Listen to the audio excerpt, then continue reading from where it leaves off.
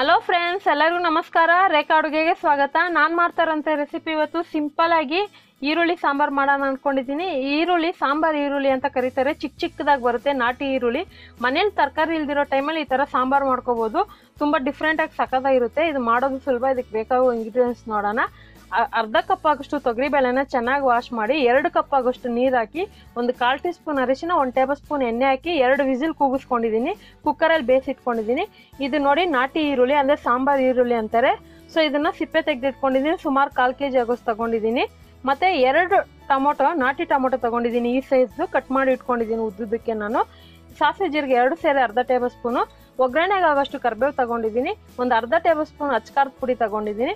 ಬೆಳ್ಳುಳ್ಳಿ ಒಂದು ಗೆಡ್ಡೆ ಬೆಳ್ಳುಳ್ಳಿ ಸಿಪ್ಪೆ ತೆಗೆದಿಟ್ಕೊಂಡಿದ್ದೀನಿ. ಒಂದೂವರೆ ಟೇಬಲ್ ಸ್ಪೂನ್ ಆಗೋಷ್ಟು ಸಾಂಬಾರು ಪುಡಿ ತಗೊಂಡಿದ್ದೀನಿ. ಒಂದು ಕಾಲು ಟೀ ಸ್ಪೂನ್ ಆಗೋಷ್ಟು ಇಂಗು. ಕೊತ್ತಂಬರಿ ಒಂದು ಕಾಲು ಕಪ್ ಆಗೋಷ್ಟು ಕಟ್ ಮಾಡಿರೋದು. ರುಚಿಗೆ ತಕ್ಕಷ್ಟು ಉಪ್ಪು. ಒಂದು ಅರ್ಧ ನಿಂಬೆನ ಗಾತ್ರದ ಹುಣಸೆಹಣ್ಣ ನಾನು ಒಂದು ಕಾಲು ಗಂಟೆ ಮುಂಚೆನೇ ನೆನೆಯಾಗಿ ಇಟ್ಕೊಂಡಿದ್ದೀನಿ ಈಗ ಹೇಗೆ ಮಾಡೋದು ಅಂತ ನೋಡೋಣ ಬನ್ನಿ. ಈಗ ಒಂದು ಪಾತ್ರೆಗೆ ನಾನು ಡೈರೆಕ್ಟಾಗಿ ಒಗ್ಗರಣೆ ಹಾಕೊಂತ ಇದ್ದೀನಿ ಅಂದರೆ ಒಗ್ಗರಣೆ ಅಂದರೆ ಈ ಈರುಳ್ಳಿನ ಟೊಮೊಟೊನೆಲ್ಲ ಫ್ರೈ ಮಾಡಬೇಕಾಗುತ್ತೆ. ಡಿಫ್ರೆಂಟಾಗಿ ಮಾಡ್ತೀನಿ. ತುಂಬ ಸಿಂಪಲ್ ಆಗಿರುತ್ತೆ. ಟೇಸ್ಟ್ ಮಾತ್ರ ಸಖತ್ತಾಗಿರುತ್ತೆ. ಈಗ ಒಂದು ಎರಡು ಟೇಬಲ್ ಸ್ಪೂನ್ ಎಣ್ಣೆ ಹಾಕಿದ್ಮೇಲೆ ಬೆಳ್ಳುಳ್ಳಿ ಹಾಕೊಂತ ಇದ್ದೀನಿ ಕೆಲವ್ರು ಏನು ಮಾಡ್ತಾರೆ ಅಂದರೆ ಬೇಳೆ ಜೊತೆಗೆ ಬೆಳ್ಳುಳ್ಳಿನೂ ಬೇಯಿಸ್ತಾರೆ. ನೀವು ಆ ಥರ ಕೂಡ ಮಾಡ್ಕೋಬೋದು. ಈಗ ಈರುಳ್ಳಿ ಹಾಕ್ಕೊತಾ ಇದ್ದೀನಿ ಈ ಈರುಳ್ಳಿ, ಸಾಂಬಾರ್ ಈರುಳ್ಳಿ ನಾರ್ಮಲ್ ಅಂಗಡಿಗಳಲ್ಲಿ ಸಿಗಲ್ಲ.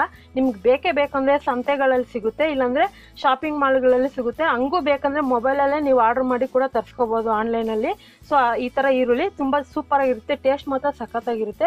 ಇದಕ್ಕೊಂದು ಸ್ವಲ್ಪ ಉಪ್ಪು ಹಾಕೊಂಡು ನಾನು ಐದು ನಿಮಿಷ ಫ್ರೈ ಮಾಡ್ಕೊತಾ ಇದ್ದೀನಿ. ಮಾಮೂಲಿ ಈರುಳ್ಳಿ ಒಗ್ಗರಣೆಗೆ ಫ್ರೈ ಮಾಡ್ತೀರಲ್ಲ, ಅದೇ ಥರ ಫ್ರೈ ಮಾಡ್ಕೊಳ್ಳಿ. ಇದಕ್ಕೆ ನಾನು ಟೊಮೊಟೊ ಹಾಕ್ಕೊತಾ ಇದ್ದೀನಿ. ಟೊಮೊಟೊ ಹಾಕಿದ್ಮೇಲೆ ಒಂದು ಎರಡು ನಿಮಿಷ ಫ್ರೈ ಮಾಡ್ಕೊಳ್ಳಿ. ನಾನು ಹುಳಿನೂ ಯೂಸ್ ಮಾಡ್ತಾ ಇದ್ದೀನಿ, ಹುಣಸೆ ಹುಳಿನೂ ಯೂಸ್ ಮಾಡ್ತಾ ಇದ್ದೀನಿ, ಟೊಮೊಟೊನೂ ಯೂಸ್ ಮಾಡ್ತಾ ಇದ್ದೀನಿ. ನೀವು ಹುಣಸೆನ ಇಷ್ಟಪಡಲ್ಲ ಅಂದರೆ ಟೊಮೊಟೊನೇ ಜಾಸ್ತಿ ಹಾಕೋಬೋದು ಹುಣಸೆನ ಹಾಕೋದ್ರಿಂದ ಸಾಂಬಾರು ಟೇಸ್ಟ್ ಇರುತ್ತೆ, ಮತ್ತು ಎರಡು ದಿವಸ ಕೆಡದೆ ಇಟ್ಕೊಬೋದು ನೀವು. ತುಂಬ ಚೆನ್ನಾಗಿರುತ್ತೆ ಹುಣಸೆನ ಯೂಸ್ ಮಾಡಿದ್ರೆ ಸಾಂಬಾರಿಗೆ. ಈಗ ನಾನು ಸಾಂಬಾರು ಪುಡಿನೂ ಮತ್ತು ಖಾರದ ಪುಡಿ ಹಾಕ್ಕೊಂಡು ಚೆನ್ನಾಗಿ ಮಿಕ್ಸ್ ಮಾಡ್ಕೊತಿದ್ದೀನಿ ಸಾಂಬಾರು ಪುಡಿ ಹಾಕಿದಾಗ ಸ್ಟವ್ ಸಿಮ್ಮಲ್ಲಿ ಇಟ್ಕೊಂಡು ಹಾಕೊಳ್ಳಿ, ಇಲ್ಲಾಂದರೆ ಸೀದೋಗ್ಬಿಡುತ್ತೆ. ಮತ್ತು ನೀವು ಸಾಂಬಾರು ಪುಡಿನ ಸಾಂಬಾರು ಪುಡಿಯಲ್ಲೇ ಖಾರ ಮಿಕ್ಸ್ ಮಾಡಿದರೆ ಅದನ್ನೇ ಯೂಸ್ ಮಾಡ್ಬೋದು. ಇಲ್ಲಾಂದರೆ ನಿಮ್ಮ ಮನೇಲಿ ಯಾವ ಸಾಂಬಾರ್ ಪುಡಿ ಯೂಸ್ ಮಾಡ್ತೀರಾ ಅದನ್ನೇ ಯೂಸ್ ಮಾಡಿ. ನಾನು ಖಾರದ ಪುಡಿನೂ ಯೂಸ್ ಮಾಡಿದ್ದೀನಿ, ಸಾಂಬಾರ್ ಪುಡಿನೂ ಯೂಸ್ ಮಾಡಿದ್ದೀನಿ. ಇದಕ್ಕೆ ಹುಣಸೆ ಹುಳಿ ಹಾಕೊತ ಇದ್ದೀನಿ ಹಳೆ ಹುಣಸೆನಾಗಿರೋದ್ರಿಂದ ಸ್ವಲ್ಪ ಹುಳಿ ಜಾಸ್ತಿ ಇರುತ್ತೆ. ನೀವು ನೋಡಿ ಹಾಕ್ಕೊಳ್ಳಿ ಅಕಸ್ಮಾತ್ ಹುಳಿ ಬೇಡ ಅಂದರೆ ಸ್ಕಿಪ್ ಮಾಡ್ಕೊಳ್ಳಿ. ಇದಕ್ಕೊಂದು ಸ್ವಲ್ಪ ನೀರು ಹಾಕಿ ಚೆನ್ನಾಗಿ ಕುದಿಯಕ್ಕೆ ಬಿಡೋಣ. ಒಂದು ಐದು ನಿಮಿಷ ಕುದಿಬೇಕು. ನೋಡ್ತಾ ಇರ್ಬೋದು, ಚೆನ್ನಾಗಿ ಕುದಿ ಬರ್ತದೆ ಈ ಥರ ಚೆನ್ನಾಗಿ ಕುದಿ ಬರೋವಾಗ, ಯಾಕಂದರೆ ಅರ್ಧ ಭಾಗದಷ್ಟು ಇದರಲ್ಲಿ ಈರುಳ್ಳಿ ಬೆಂದೋಗಿರುತ್ತೆ ಅರ್ಧ ಇನ್ನು ಅರ್ಧ ಮಾತ್ರ ಬೇಳೆ ಹಾಕ್ದಾಗ ಬೇಯಿಸ್ಬೇಕು. ಇವಾಗ ನೋಡಿ ಬೇಯಿಸಿರೋಂಥ ಬೇಳೆ ಹಾಕ್ಕೊತಾ ಇದ್ದೀನಿ. ಬೇಳೆನ ಅಷ್ಟೇ ಜಸ್ಟ್ ಕುಕ್ಕರಲ್ಲಿ ಎರಡು ವಿಸಿಲ್ ಕೂಗಿಸ್ಕೊಂಡಿದ್ದೀನಿ ಅಷ್ಟೇ. ಚೆನ್ನಾಗಿ ಸೌಟಲ್ಲೇ ಇಲ್ಲ, ಬೇಳೆ ಮಸ್ಯದಲ್ಲೇ ಮಸ್ಕೊಂಬಿಡಿ. ಈಗ ಇದನ್ನು ಚೆನ್ನಾಗಿ ಮಿಕ್ಸ್ ಮಾಡ್ಕೊಳ್ಳೋಣ. ಇದಕ್ಕೆ ಅದೇ ಕಪ್ಪಲ್ಲಿ ನಾನು ಒಂದು ಅರ್ಧ ಕಪ್ ಆಗೋಷ್ಟು ನೀರು ಹಾಕ್ಕೊತಾ ಇದ್ದೀನಿ. ಬೇಳೆ ಸಾಂಬಾರಿಗೆ ತಿಕ್ನೆಸ್ ನೋಡಿ ನೀರು ಯೂಸ್ ಮಾಡಿ. ಜಾಸ್ತಿ ನೀರು ಥರನೂ ಹೋಗಬೇಡಿ, ಗಟ್ಟಿಯಾಗೂ ಹೋಗಬೇಡಿ. ನಾರ್ಮಲ್ ಬೇಳೆ ಸಾರು ಮಾಡ್ತಿರಲ್ಲ, ಆ ತಿಕ್ನೆಸ್ ಇದ್ರೆ ಸಾಕು. ಮತ್ತು ನೀವು ಈ ಈರುಳ್ಳಿನಲ್ಲೇ ಮಾಡಬೇಕಂತಲ್ಲ, ಮಾ, ನಾರ್ಮಲ್ ಈರುಳ್ಳಿಯಲ್ಲಿ ಕೂಡ ಮನೇಲಿರುತ್ತಲ್ಲ ಅಂಥ ಈರುಳ್ಳಿಯಲ್ಲಿ ಕೂಡ ಮಾಡ್ಕೋಬೋದು. ಸ್ವಲ್ಪ ಜಾಸ್ತಿ ಹಾಕೊಂಡು ಮಾಡ್ಕೊಂಡ್ರೆ ತುಂಬ ಚೆನ್ನಾಗಿರುತ್ತೆ. ಇದ್ರ ಜೊತೆಗೆ ನೀವು ಆಲೂಗಡ್ಡೆ ಕೂಡ ಹಾಕ್ಬೋದು, ತುಂಬ ಟೇಸ್ಟಾಗಿರುತ್ತೆ ಸಾಂಬಾರು. ಇದನ್ನ ಚೆನ್ನಾಗಿ ಒಂದು ಐದು ನಿಮಿಷ ಕುದಿಯೋಕೆ ಬಿಡ್ತೀನಿ. ಸೊ ಉಪ್ಪು, ಖಾರ ನೋಡಿ ಹಾಕೊಳ್ಳಿ. ನಾನು ಉಪ್ಪು ಕೂಡ ಹಾಕಿದೆ ಕುದಿಯುವಾಗ. ಈ ಸ್ಮೆಲ್ಲಲ್ಲೇ ಬಂದ್ಬಿಡುತ್ತೆ ನಿಮ್ಮ ಸಾಂಬಾರು ಕುದಿಯುವಾಗನೇ ಉಪ್ಪು ಏನಾದ್ರು ಕಡಿಮೆ ಇದೆ ಸ್ಮೆಲ್ಲಲ್ಲೇ ಗೊತ್ತಾಗುತ್ತೆ. ಸೊ ಈಗ ಫೈನಲ್ ಟಚ್ ಆಗಿ ಒಗ್ಗರಣೆ ಕೊಡೋಣ. ಇದಕ್ಕೆ ಒಂದು ಒಂದೂವರೆ ಟೇಬಲ್ ಸ್ಪೂನ್ ಎರಡು ಟೇಬಲ್ ಸ್ಪೂನ್ ಎಣ್ಣೆ ಹಾಕ್ಕೊತ ಇದ್ದೀನಿ ಎಣ್ಣೆ ಕಾದಿದ ಮೇಲೆ ಸಾಸಿವೆ ಜೀರಿಗೆ ಹಾಕ್ಕೊತ ಇದ್ದೀನಿ ಅಕಸ್ಮಾತ್ ನೀವು ಬೆಳ್ಳುಳ್ಳಿ ಹಾಕೋದಾದ್ರೆ ಬೆಳ್ಳುಳ್ಳಿ ಜಜ್ಜಿ ಹಾಕ್ಕೊಳ್ಳಿ ಈಗ ಮತ್ತೆ ಒಣಮೆಣಸಿನ್ಕಾಯಿ ಇಷ್ಟಪಡೋರಾದ್ರೆ ಒಣಮೆಣಸಿನ್ಕಾಯಿ ಕೂಡ ಹಾಕೋಬೋದು ಒಗ್ಗರಣೆಗೆ.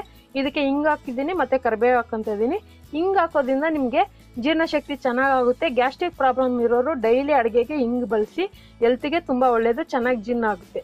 ಈಗ ನಾನು ಈ ಒಗ್ಗರಣೆನ ಆ ಪಾತ್ರೆಗೆ ಹಾಕ್ಕೊತ ಇದ್ದೀನಿ ಹಾಕೊಂಡು ಚೆನ್ನಾಗಿ ಮಿಕ್ಸ್ ಮಾಡ್ಕೊಳ್ಳೋಣ. ಸೊ ಅದೇ ಬಾಣಲಿಗೆ ಸಾಂಬಾರು ಹಾಕೊತ ಇದ್ದೀನಿ ಮತ್ತೆ ನೀರು ಯೂಸ್ ಮಾಡ್ಬೇಕು ಅಂದ್ಬಿಟ್ಟು ನಾನು ಸಾಂಬಾರನ್ನೇ ಹಾಕೊತ ಇದ್ದೀನಿ ಬಾಣಲಿಗೆ ಈ ಒಗ್ಗರಣೆನ ಜಾಸ್ತಿ ಹೊತ್ತು ಕುದಿಸ್ಬೇಕಂತೀನಿ ಯಾಕಂದರೆ ಸಾಂಬಾರನ್ನ ನಾನು ಆಲ್ಮೋಸ್ಟ್ ಐದು ನಿಮಿಷ ಚೆನ್ನಾಗಿ ಕುದಿಸಿದ್ದೀನಿ ಈಗ ಜಸ್ಟ್ ಒಂದು ನಿಮಿಷ ಒಂದು ಕುದಿ ಬಂದರೆ ಸಾಕು. ಇದಕ್ಕೆ ಕೊತ್ತಂಬರಿನೂ ಹಾಕೊಬಿಡೋಣ ಅದೇ ಟೈಮ್ಗೆ ಮತ್ತು ನಾನು ಹೇಳ್ದಂಗೆ ಈ ಸಾಂಬಾರು ನೀವು ಮನೇಲಿ ಯಾರಾದರೂ ತಕ್ಷಣ ಗೆಸ್ಟ್ ಬಂದಾಗ ನಾರ್ಮಲ್ ಈರುಳ್ಳಿ ಕೂಡ ಮಾಡ್ಕೋಬೋದು, ತುಂಬ ಚೆನ್ನಾಗಿರುತ್ತೆ. ಸೊ ತರಕಾರಿ ಇಲ್ದಿರೋ ಅಂತೂ ನಿಮಗೆ ಟೆನ್ಷನ್ ಇರಲ್ಲ. ಈರುಳ್ಳಿ, ಸಾಂಬಾರು ಅಂತಲೇ ಮಾಡ್ಕೋಬೋದು, ತುಂಬ ಸೂಪರ್ ಆಗಿರುತ್ತೆ.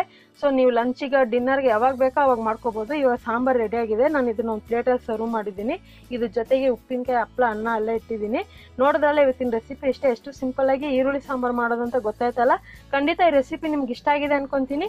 ಇಷ್ಟ ಆಗಿದೆ ನೀವು ಕೂಡ ಈ ಸಾಂಬಾರ್ನ ಟ್ರೈ ಮಾಡಿ ಹೇಗಿದೆ ಅಂತ ನಿಮ್ಮ ಅನಿಸಿಕೆನ ಕಮೆಂಟ್ ಮೂಲಕ ತಿಳಿಸಿ. ಮತ್ತಷ್ಟು ಈಸಿ ರೆಸಿಪಿಗೋಸ್ಕರ ರೇಖಾ ಚಾನಲ್ನ ಸಬ್ಸ್ಕ್ರೈಬ್ ಮಾಡಿ, ಶೇರ್ ಮಾಡಿ, ಲೈಕ್ ಮಾಡಿ. ವಿಡಿಯೋ ನೋಡಿದ್ದಕ್ಕಾಗಿ ಎಲ್ಲರಿಗೂ ಧನ್ಯವಾದಗಳು.